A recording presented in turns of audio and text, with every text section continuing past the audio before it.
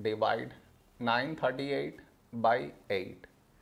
To do this division, we should frame it in this way. 938 here, 8 here. This is your step 1. Next, here we have 9, here 8. A number close to 9 in 8 table is 8 ones 8. Now we should subtract, we get 1. After this, bring down the beside number, so 3 down, so 13.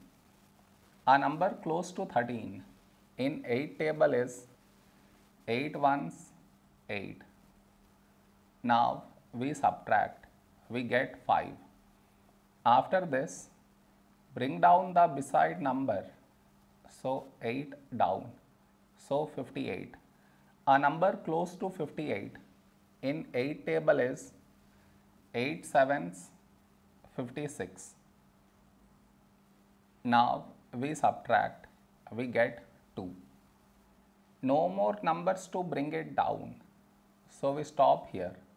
This is our remainder, this is our quotient.